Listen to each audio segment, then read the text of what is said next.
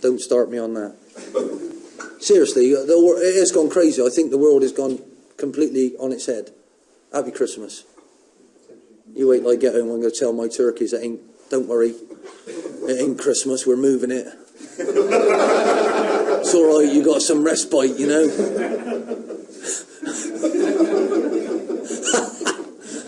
oh, I've had a word with FIFA, and we're going to move Christmas. It's no problem.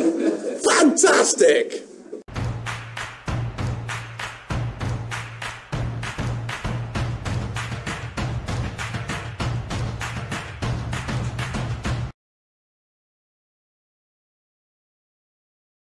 Hi there guys and welcome back to the channel. We are today looking at who we're going to draw in the FA Cup first round. We made a point of it earlier in the save that we want to get a good FA Cup run to bring some more money in. The money side of things quickly is going slightly better now. Our overall balance is staying the same. We have not got any worse. As you can see in September it improved a bit more and I think by the time we get to January and we can do a bit of work and you know trim a little bit um, you know keep bringing in more gate receipts, I think we'll see this turn back towards a positive figure, and hopefully by next season we can start running the club in the actual black as such rather than in the red. That's really what I'm after. But anyway, we're going to go to the FA Cup first round draw, and we're going to see we're going to get here. 87 teams. Wow, that's a lot. Um, and the smallest ones are South Shields and Folkestone Invicta. So that is going to be interesting. I wonder we're going to draw here. I'd like to get a lower league uh, team. So I'm going to draw the next team until we get something out here, see if anything interesting happens. Folkestone or Torquay are going to play um, Gillingham. Right, Portsmouth, Cheltenham, Stockport, Maxfield. Uh, it does take a while. 78 teams to draw. Blackpool are going to play AFC Wimbledon. Right, so luckily we got the early draw, so we have got a League One tie, which means we're going to have to go pretty strong. And even worse for us, uh, AFC Wimbledon are third. Um, so they are in around us. So we would like an FA Cup run, but we've literally drawn the toughest team we probably could, apart from Bristol Rovers. Would you believe it? So yeah, all right. So AFC Wimbledon in the FA Cup first round. We'll go for it. We need to get a win. I want to get a third round tie against a bigger club. Every lower league manager does, right? I want to prove myself against a big boy. I want to take on Leicester after they sacked me in the last game. That would be lovely. Just before we take you to the gold rush, let's have a look at the financials again. And as we said just uh, last episode, um, we are now stabilising a bit at least. Um, we made a little bit of profit last month, 150,000 um, this month. So that is something. Keeps our balance at 350 odd thousand in the red, but progress. Once we get to January, like I said, we start making some more tweaks here and there. We have got quite a big squad. We've not had as many injuries as I expected. I have done a bit of rotation, as I'll explain in the goal rush, because you will probably see from some of our results we've not maximised um, that part of it as much. But yeah, progress here. Um, we're passing the financial fair play as well, which always is important, you know, in the football league. Um, the board are very pleased. We're doing very well. So yeah, all is looking up at Blackpool. Right, and in a slight change of plan, we're going to do the Bolton game live. So I'll go rush in a minute the two games you've missed since the last time out. Um, we've got a sellout expected, and as I said to you before, gate receipts are very important to me going forward as a manager. It's important to get the fans in. You see from the article here that's been sent to our attention in our inbox, Blackpool's game against Bolton Wanderers in the Sky Bet League One is set to be a sellout, with supporters clamouring to see their team at Bloomfield Road because we're doing so well in the league, we're playing in a good way. Capacity crowd of 15,220 we normally get on average 10,000. So that's literally another 50% on top. That is massive money to us. So we're going to do this game live now. Bolton, of course, have a club are a club with a massive history, um, going through a tough time at the moment. They're currently 16th in League One, so we can get a nice home win and hopefully keep some of those 15,000 coming back to bring some more of that money in. So anyway, we're going to do this game but anyway, let's catch up with the goal rush first. Let's get that done. Things have changed slightly. Lust is the nature of the game when things happen. So anyway, here are the goals that you've missed so far. Right, and as we take you to the goal rush now, you can see we had no draws the last time I left you, and now since in the two games we've had two draws, so that's quite hilarious. Probably chose the right time to have a goal rush. Anyway, let's take you to Rochdale first. They're bottom of the league, and then Rotherham as well, who are right near the bottom, surprisingly. So probably not so good um, in context who we were playing, but let me take you to Rochdale and we'll have a look at the goals. So as you can see on screen, away at Rochdale, um, bottom of the league, it was second half where all that happened. Statistically, we were dominant. We'll watch the goals here. Herbie Kane got the goal on the hour mark here. We were struggling in the first to get the goal. There we go. Herbie Kane, typical goal, bit of space, puts it in. Great equaliser here though for bottom of the league Rochdale. Look at that for a ball. Keohane on the end of it to make it one all here, and that was it up until full time. As you've noticed, no yellow cards as well. So making improvements in regard to our crunching tackling but also doing it to a better standard and not fouling as much. Um, yeah, but not a great result. We did make a couple of changes, but we had another game that week as well. So not disastrous. Um, keeps us up towards the top of the league. Um, but it's funny to me at this point how we seem to be dropping points to the teams at the bottom of the league a lot more freely than teams at the top who we seem to be decimating on occasion. So funny old thing, football. Right, and the second goal rush is done. It's Blackpool nil, Rotherham nil. Um, I just wanted to bring you into this and show you the stats. Um, yeah, they had one shot the entire game. No, none of them on target. Um, we absolutely dominated at home, to be frank. We absolutely penned them in. It was one of those games where we were passing the ball around um, outside the box, trying to find the space for Herbie Kane or Kapustka or Kai Kai um, to score. And unfortunately, their keeper had a decent game. We didn't get a lot on target. And I gave him absolute rollicking at full time because, you know, if you don't go up by um, two points, this is the game where we've thrown it away, to be frank. So, yeah, not ideal. Two draws from the two. But like I said, we've got this solid game against Bolton now coming up. Very important to us to get a win in this, just more for the financial element of the club, the extra element of the game here. So we have to go and put a good performance in now and turn these last two draws around. And here we go, Bolton Wanderers at home, a sellout at Bloomfield Road, 15 odd thousand in the gate today. Massive game for us. Need to put in a good performance to keep the fans coming back. If you compare to our last goal rush, we got a nil-nil draw at 19th place, sorry, at home to 19th place, um, Rotherham. That kind of shows where we need to make improvements here. You will not keep the fans coming through the gate if you're not getting the wins.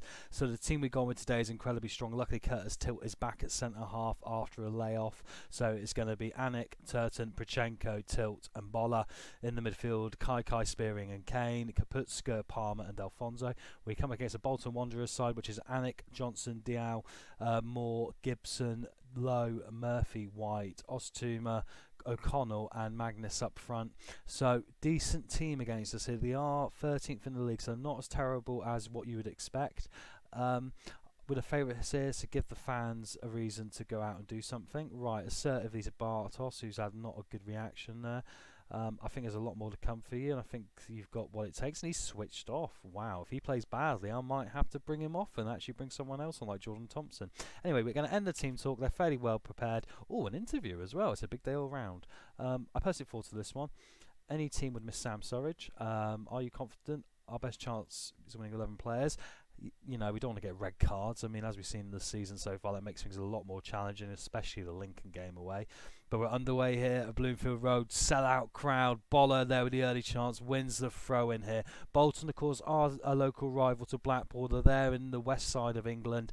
So this is a big, big game. Bolton Wanderers a lot of Premier League history as well. They've dropped down the divisions now, but this is a great opportunity for Blackpool here to really push on and show ourselves. The game's flying by a bit here, but as you can see from the stats, our shots and our shots on target are really dominant. Right, 22 minutes in. Come on, lads, come on. We're playing a very good style of football. I think the quality we've got now, we can hold the ball up well and compete with anyone in this league. As we take the throw in now, and Kane comes in, he's got his space! Oh! And I get excited before he shoots because you can just see what he's capable of. Alnwick with the easy save there. We've got the two Alnwicks in goal today. We've had the two Kents on the pitch recently, both of them scoring for either side.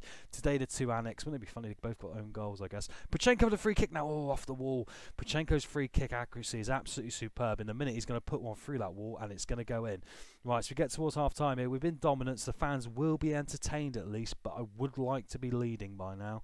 But second half, hopefully, we can push on from this. The good thing is defensively, we're not conceding a lot. I like to see them how many goals we conceded throughout the whole season, but I know it's not been that many. Um, you know what's coming. I'm far from pleased. Right because I want to see that bit more from him. Come on, you know, we can do better. Um, I'm going to get Kai Kai off because I don't think he's been doing that well for the last few games. Let's put Casey Palmer on the right. He can play there. and we're going to put Kapustka in the hole when we'll take off Kai Kai for Thompson. Thompson's the guy we call on who comes on and can normally score a goal from the left flank. So that's why we made that change. A bit of a tactical masterstroke, hopefully, but we'll see. Anyway, Bolton get us underway here now in the second half. They are a team that really want to turn their season around and push on towards the playoffs in their own right. Turton down to Palmer now in his new position on the right. Thompson said he can come on and score, gets a strike away, corner to Blackpool. That's a good positive change here on 46 minutes. Kapustka with a corner in now. I think um, in the next episode we're going to look at doing some work on tactics and corners. I think there, if you notice how many times now um, we've missed opportunities. Oh, Oztumer's free kick's close. How many times we've put the ball in and not made the most of it. We can do more from corners, no doubt about it. Right, Kane now, can he find his space? He can't. Thompson can. Alnwick with a diving save there for Bolton. Coming up to the hour mark here. Blackpool still building. Our games follow a stereotypical pattern here as Delfouneso goes close from the corner and Spearing now picks it up two players on him. Turton in the space now to come forward. We lose the highlight on the hour mark. Right, Oztumer again lays it off to O'Connell. Bolton have got quality. Murphy now with a strike. Luckily straight at Jak Alnwick, our goalkeeper, not theirs. Good stuff here. Right, clearance. Oh, goes all the way back to Bolton now. Can they launch here and come forward? Murphy now looking for something on the flank. Comes to Magennis. Oztumer's the danger man from distance.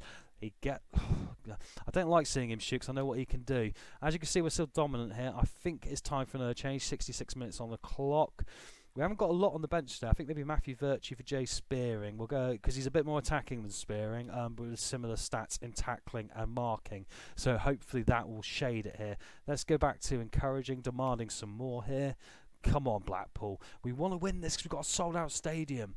Come on, free kick in now. Palmer towards the back post. Tilt could pick it up now, just outside the area. Play it up to Virtue. Back to Turton. Try and find that ball across. Bola to Thompson here. Thompson coming forward to Herbie Kane. He's the main man this year, isn't he? He's carrying his team on his back. Kapustka with a strike. Palmer with a strike.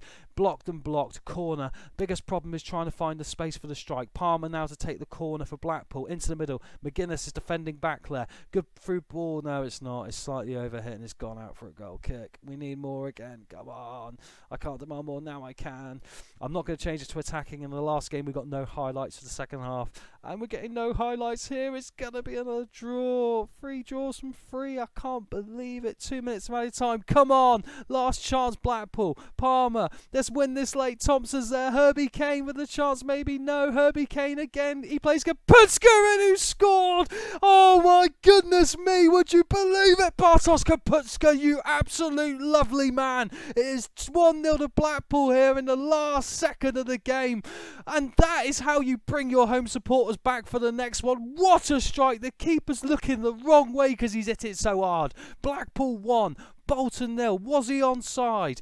I think he was, yes. The last slackness there from that left back has let us in. Kapustka's in. It's Blackpool 1, Bolton nil. Just hold on now. I've got so excited there. We threw it away now. Oh, God. Pollock just put it in there. My God. And Alnwick was going the other way, but it's okay.